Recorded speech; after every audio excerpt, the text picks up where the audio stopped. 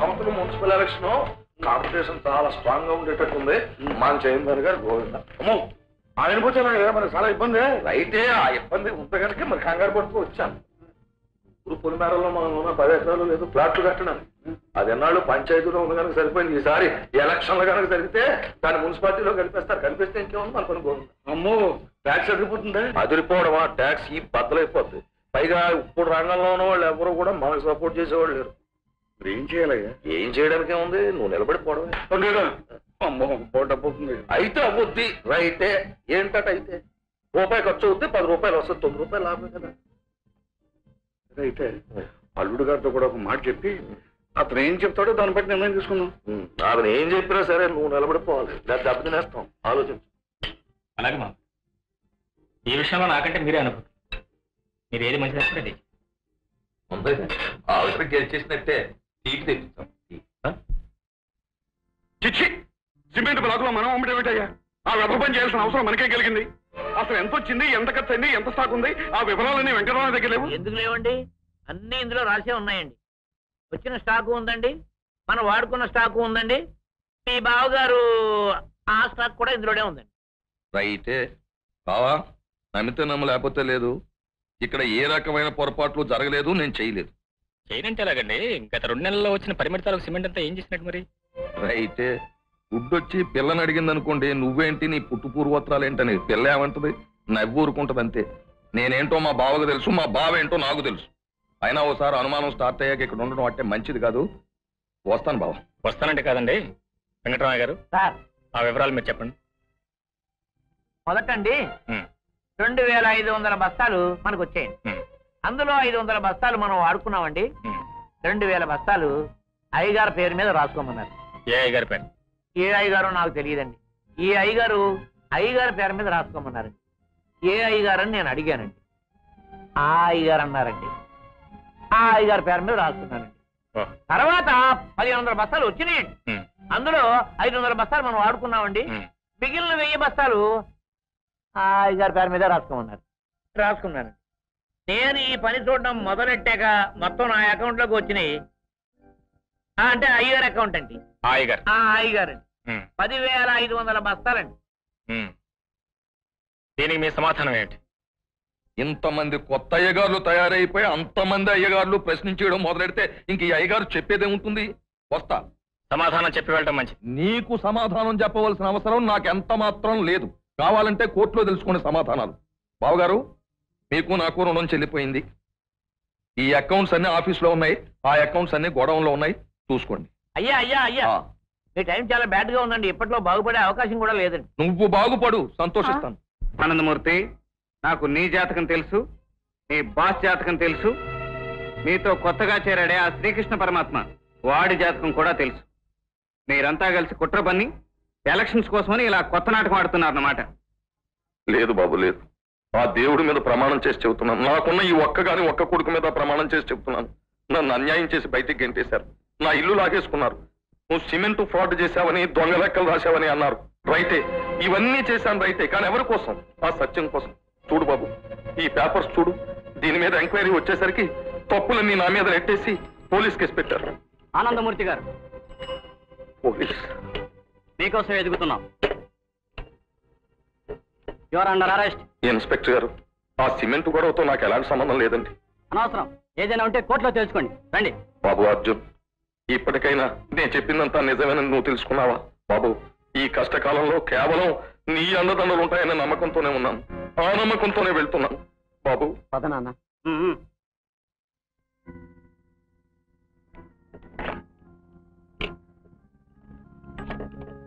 గురు ఆనందమూర్తిని పనిలోంచి తీసేశారట. Police complaint కూడా ఇచ్చారట. అవును గురు. ఈ టైంలోనే అతను మన సైడ్ అక్కుంటే చాలా మంచిది గురు. కరెక్ట్ గురు. అతను అరెస్ట్ చేయించాడు. ఈ టైంలో మనం బెయిల్ చిడిపించామనుకో అతను తల తీసేసినట్టు అవుతుంది.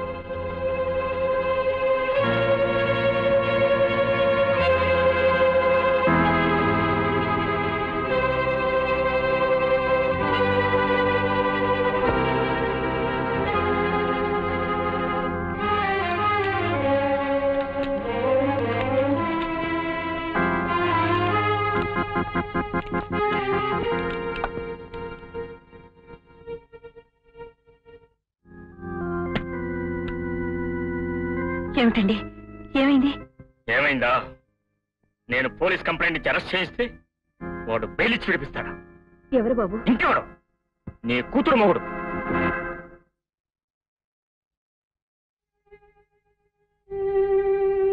ఏమండి? ఇప్పటికీ అన్నయ్యకి మనకి మధ్య పచ్చగడ్డి వేస్తే బగ్గుమంటుంది అటువంటప్పుడు వాళ్ళకి ఇష్టం లేని మనిషి మన దగ్గర ఉండటం ఎందుకు చెప్పండి? ఈ బెయిళ్ళు గీళ్ళు ఇవన్నీ ఎందుకు? లేదు వాసంతి. వాళ్ళు అతనికి చాలా అన్యాయం చేశారు. అన్యాయం చేశారో న్యాయం చేశారో వాళ్ళకి ఇష్టం లేని పని మనం ఎందుకు చేయాలి? వద్దమ్మా వద్దు. నా మూలంగా మీ భార్యాభర్తలు ఇద్దరు గొడవ పడుతున్నారంటే అసలు నేను ఇక్కడికి రాను ఇక్కడ ఉండను. కానీ నీకు ఓ విషయం చెప్పాలమ్మా.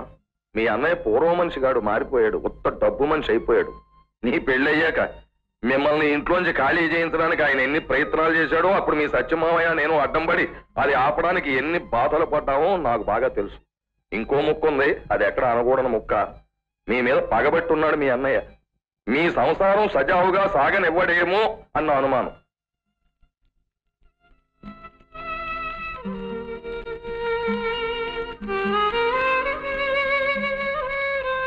ఒకప్పుడు నేనే మీ పాకలు పీకాను.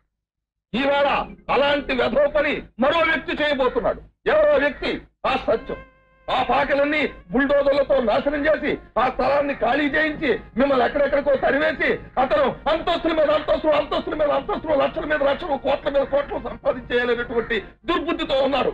ఆ దుర్బుద్ధిని అరికడతాం ఆ బుల్డోజర్లకి నేనే అర్థం పడుకుంటాను మీ అందరి తరఫున నేను హామీ అయితే అలాంటి వ్యక్తి చేసే అరాజకాలు అరికట్టాలి అంటే అతను చైర్మన్ కాకుండా మనం చూడాలి. చూడాలి అంటే అతనితో పోటీ చేయగల సమర్థుడిని మనం నిలబెట్టాలి. ఎవరా సమర్థుడు? సత్యం మీద పోటీ చేయడానికి అర్హుడు ఒకే ఒక వ్యక్తి అతను మన అర్జున్. అంచేత పేద ప్రజానికి యాభై మంది తరఫున నేను శ్రీ అర్జున్ ఎలక్షన్లో పోటీ చేసి చైర్మన్గా గెలవాలని కోరుతున్నాను. లేదు మామయ్య గారు మీకు తెలియదు. వాడు నుంచున్నది మీ మీద పంతంతో కాదు నా మీద పంతంతో. నా మీద వాడుకున్న కక్ష తీర్చుకోవడానికి నాకు సాధించుకోవడానికి. ఇప్పటి వరకు ఇది మీ మధ్య పోటీ. ఇప్పటి నుంచి మా మధ్య పోటీ.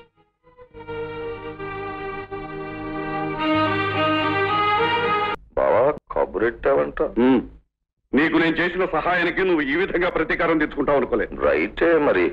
నువ్వే కదా పొమ్మన్నావు. పొమ్మంటే? మా విరోధమైన వాళ్ళతో చదువుకెళ్తావా నువ్వు కూడా ఏదో రకంగా బ్రతకాలిగా మరి. కేవలం బ్రతుకు తెరువు కోసం అయితే నువ్వు బ్రతకడానికి ఎంత కావాలి లక్ష. మాట బాబు? అవును. డబ్బు కోసం ఆశపడే మనిషిని డబ్బుతోనే కొనాలి. నువ్వు వాడితో ఉండటానికి వెళ్ళలేదు వాడి తరఫున ప్రచారం చేయడానికి కూడా వెళ్ళలేదు నువ్వు దీన్ని ఒప్పుకుంటే నీ మీద ఉన్న కేసులు తీసేస్తాను. నీకెంత డబ్బు కావాలని ఇస్తాను. అయితే ఆ మాట చెబితే చాలదు. మీరు నాకు డబ్బు ఇవ్వాలా? కానీ బావా నాకు ఒక్కటే బాధగా ఉంది. ఆవేళ నువ్వు నన్ను గదిలోకి తీసుకెళ్ళి తలుపులు వేసేసి ఎందుకురా ఇలాంటి పాడు పని చేసావు నాలుగు లెంపకాయలు కొట్టినా నేను బాధపడకపోను. ఎందుకు పనికిరాని మనుషుల ముందు నన్ను షేమ్ చేసావు అందుకే నేను ఎక్కువ బాధపడుతున్నాను. సరే. జరిగిపోయిందేదో జరిగిపోయింది. ఇక నుంచి నువ్వు నాతోనే ఉండాలి. అయితే నువ్వు ఆ మాట అంటే నేను ఎక్కడికి వెళ్తాను ఇక్కడే ఉండిపోతాను. కానీ ఇంకెప్పుడు వాడి ముఖం కూడా చుట్టానికి వెళ్ళలేదు అయితే అలా చేయొచ్చు బాబు కానీ అది రాంగ్ ఏం చేతంటే మనం ఎవరినైనా దెబ్బ కొట్టాలంటే వాడి పక్కనే ఉండి వాడి పక్కలోనే ఉండి దెబ్బ కొట్టాలి. నేను వాళ్ళతోనే ఉంటాను వాళ్ళ మనిషిలాగే నటిస్తాను అంతా వాళ్ళ మనిషిలాగే. కానీ ఎప్పుడు ఎక్కడ నొక్కాలో అక్కడ నొక్కేస్తాను. దాన్నే స్ట్రాటజీ అంటారు. నాకు వదిలిపెట్టేయండిగా. ఆ? ఆ. చెబుతా చెబుతా అదంతా పెద్ద కథ. బాబు అర్జున్ నేను ఎప్పుడైతే పేదవాళ్ళ పక్షం వహించానని తెలిసిందో ఈ గొప్ప వాళ్ళ గుండెల్లో రైళ్ళు పరిగెట్టడం మొదలెట్టాయి. దాంతో కార్లు వేసుకుని ఊరంతా గాలించేయడం మొదలెట్టారు. సరే ఒకప్పుడు వాళ్ళు ఉప్పు పులుసు తినున్న వాళ్ళం. ఎందుకైనా మంచిది ఒకసారి పెడదామని చెప్పి వెళ్ళాను. వెళ్ళేటప్పటికి టేబుల్ మీద పేర్చేసి ఉంచారు. పలహారాలు కాదు నోట్ల కట్టలు. కట్టకు పదివేలు చొప్పున పది కట్టలు పేర్చేసి ఉంచారు. వాటిని నేను తీసుకుని ఏ బొంబాయో ఢిల్లీయో మద్రాసో వెళ్ళిపోవాలట ఎలక్షన్స్ అయిపోయేదాకా ఊళ్ళో అడుగు పెట్టకూడదట. అది షరతు. అర్థమైంది కదా ఆ షరతు వెనకాల ఉన్న అంతరార్థం ఏమిటో? నేను ఈ ఊళ్ళో ఉంటే వాళ్ళ గోత్రాలనే బయటకు వస్తాయి వాళ్ళ గుట్టు ఎప్పుడైతే బయటపడిందో జనం వాళ్ళ వాహనం ఉమ్మేస్తారు. వాళ్ళు ఓడిపోతారు వాళ్ళ పథకం దెబ్బతినేస్తుంది. అప్పుడు నేను చెప్పాను ఊళ్ళు వెళ్ళను. మీ డబ్బు నాకు అక్కర్లేదు ఎందుకయ్యా నాకు ఈ పాడుధనం ప్రజాధనం నాకు చాలు? ఇప్పటికే మీ వెనకాల గడిపిన పాపిష్టి జీవితం చాలు. ఇక ఈ శేష జీవితాన్నైనా ప్రజాసేవలో గడపనివ్వండి అని చెప్పేసి బయటకు వచ్చేసాను ఇది నేను చేసిన పని. ఇందులో తప్పేమన్నా ఉందా అర్జున్? లేదు. ఒక మనిషి చేయాల్సింది చేశారు. మనిషిలా ప్రవర్తించారు. జై కొట్టవలసింది అర్జున్! అర్జున్! సత్యం! ఏమైంది?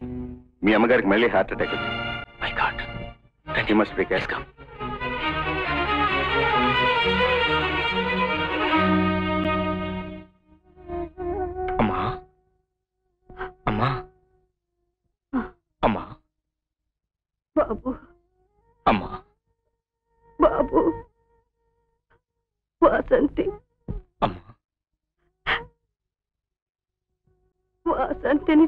చూడాలని ఉందిరా. తీసుకొస్తావా?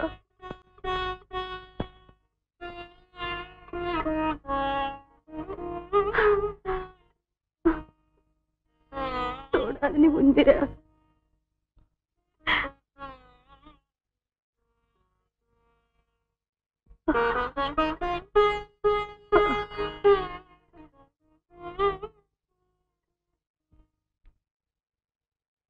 ఏం చెప్పకుండా వచ్చేసరే ఏం చెప్పమంటావు?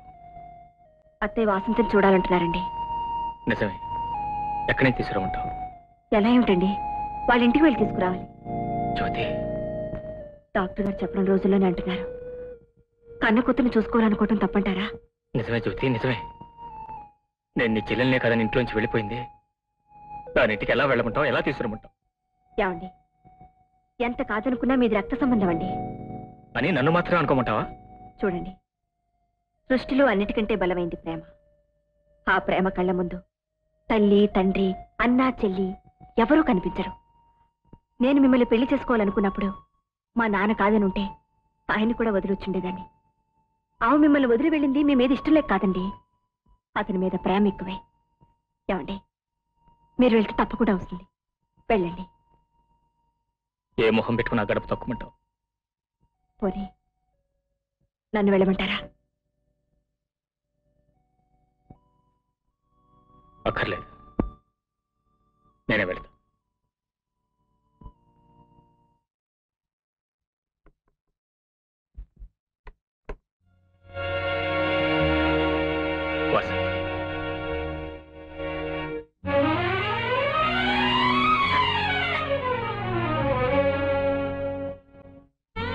ఏమ్మా? మాట్లాడవా? మాట్లాడకూడదా?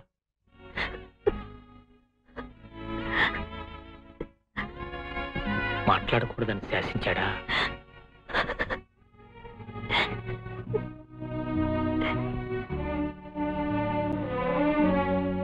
రాకూడదని అనుకున్నాను.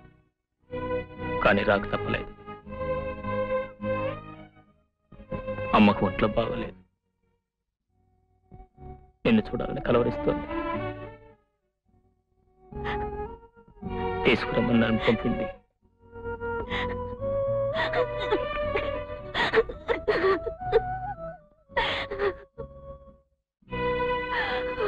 రాలేవా?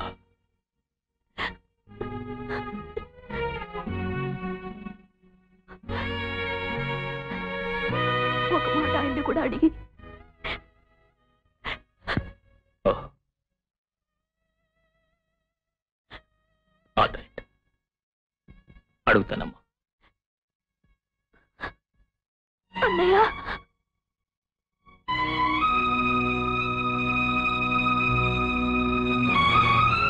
నన్నే పిలిచావమ్మా.